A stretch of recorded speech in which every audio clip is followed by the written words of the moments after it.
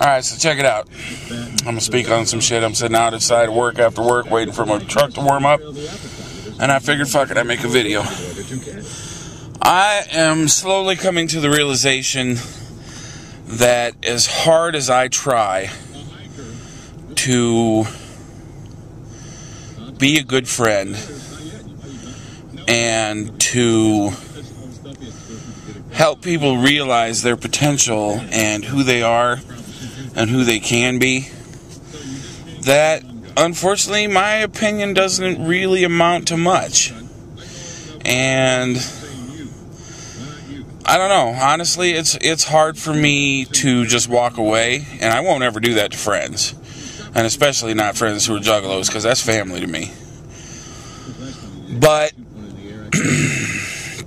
I have to limit myself to the things I will talk about, uh, the things I will discuss with a lot of people, because I am very, I, I guess you could almost say codependent on other people's feelings. I I thrive on trying to help other people with their problems and, and fixing things and you know everybody I mean all my friends say I'm their hero and you know I'm no fucking hero I'm just a broken old juggalo who's been through a lot of shit and knows half-ass knows what he's talking about from experience you know, I don't know everything. Fuck, I probably don't even know half of everything.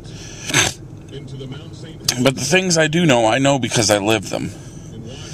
And life is what you make it, you know? And if you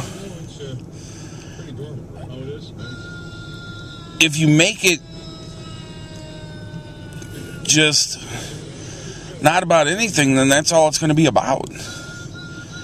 So I don't know. You know, I got mad love for everybody. I, my mother, the one thing she left me with before she passed away was the capacity for unconditional love.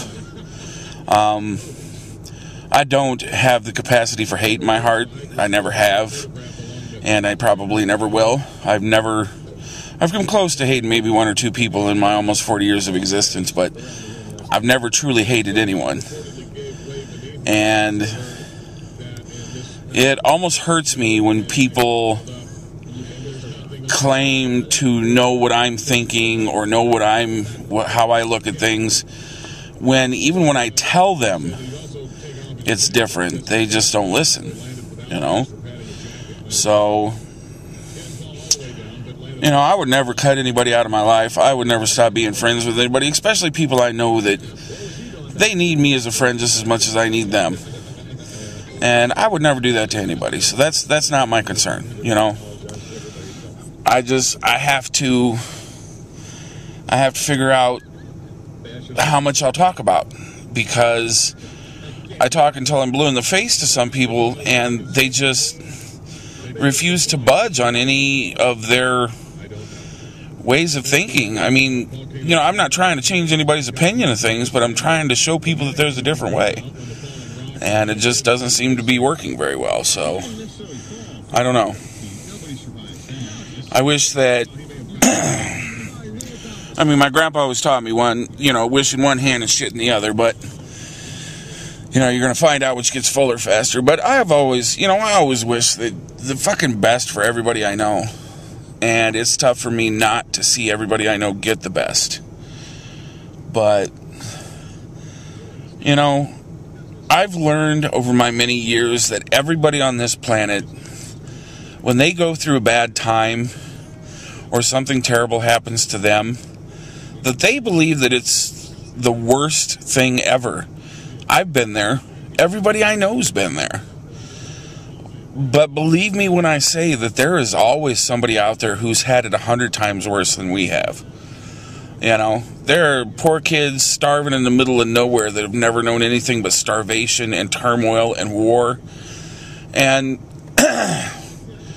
we live in a country where, yeah, we have homelessness and yeah, we have poor and, and yeah, we have all these things, but the things we don't have are people that are starving in the middle of the desert and are so malnourished that they look like they're going to die. You know, we don't have those things because we live in a country where those things can be alleviated.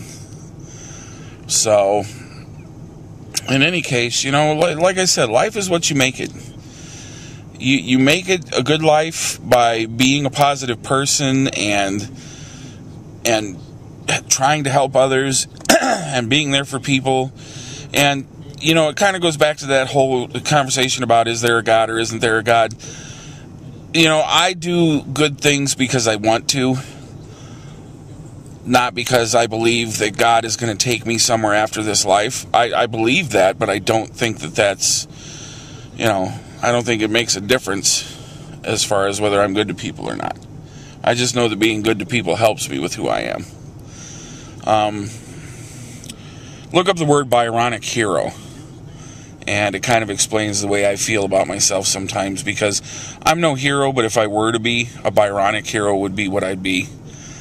So it's B Y R O N I C. Look it up. And, you know, for those of you who know me, you might understand. But in any case, I just want y'all to know if you're family, I love you more. And even if you're not family, I still got mad love for you. You know? I, I love every motherfucker on this planet. There's nobody on this planet I don't have love for. Nobody. So, chin up, man. Fucking kick life in the nuts when it needs it and fucking keep moving forward. And eventually you get where you're going. In any case, my truck's warm and this light on my door is starting to burn my leg because I'm a big fat motherfucker. so, I'm going to head home, curl up with my girlfriend, and go to sleep. But I'll uh, I'll be posting a new video again soon. And y'all have a good night. Peace. Much family love.